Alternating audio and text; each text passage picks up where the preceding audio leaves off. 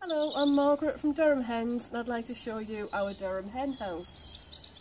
The Durham hen house is made of recycled plastic so it's very strong and long lasting.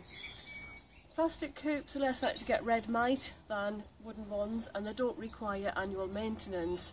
They're very hygienic, they can be jet washed for cleaning.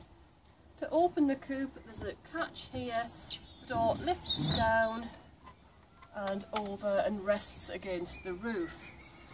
It has a wide access for cleaning. Everything inside here, the nest box, the perches and drink and feeder stands all lift out and we found that a snow shovel is very effective to take out the shavings and it's literally a two minute job to clean out, to, to use a snow shovel, take the shavings out and put new ones in. This corner here is nice and dark when the lid is down and this is the nest box. Hens do like somewhere dark and they want to feel safe when they're laying an egg, so they do like laying in these nest boxes. The drinker and feeder stands are there to lift the food and water off the ground, so they're not going to kick the shavings into those and spoil the water and food. There are two perches and these are made of broad pieces of wood the wood is very good for the hen's feet and less slippy than plastic, which is why we use that. On the front of the coop, we have the pop hole. The door has a handle to make it easy to open and close. And there's a notch here that helps to hold it in place securely through the day.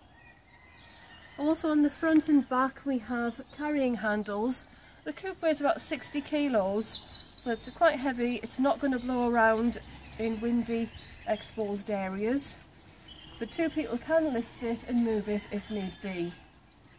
These also double as air vents, and air can also get in through the roof. There's a gap on each side, and if it's a warm day, this section can be left open, so you have an additional air gap there which helps to keep the coop cool on a hot day. To close the coop, that slides underneath and there's a little catch here